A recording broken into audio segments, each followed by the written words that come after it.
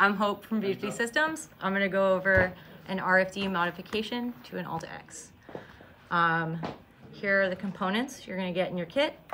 Um, we have a five volt voltage regulator, 50 in, five volts out. Um, we have the RFD uh, with your power wire. That's gonna come from your regulator. And then an S-bus for radio control. And then your two SMA extensions. Um, we also drilled a little hole in the case here.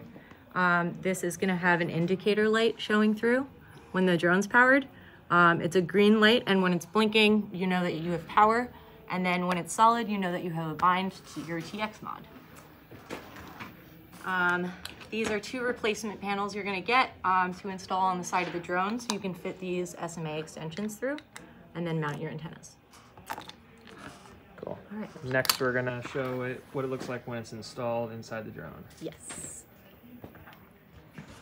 All right, we're just wrapping up the installation for your RFD and Castle on an Alta X.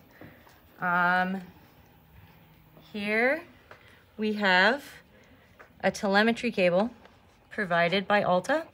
Um, you're gonna find it dangling right under your GPS in the front of the drone. Um, it's probably the hardest thing to plug in, so I would do that first. Um, once that's plugged in, you can fish your castle in and that gets stuck in the front um, right corner of the drone. Um, both of these will have VHB on um, the bottom for you to stick them down. Um, the castle then has its 5 volt power whip that comes, wraps around the front of the drone toward the GPS and toward your RFD.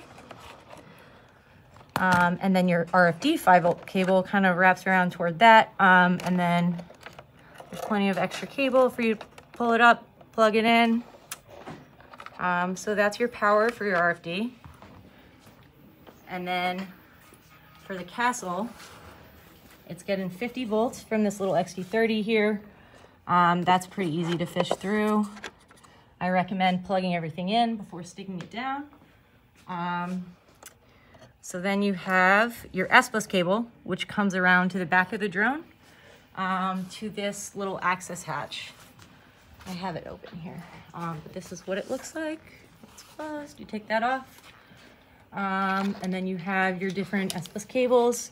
We provided you with a servo whip, so you're just plugging in your servo connector here. Um, and then you can just push the rest of the wires in there and close that back up.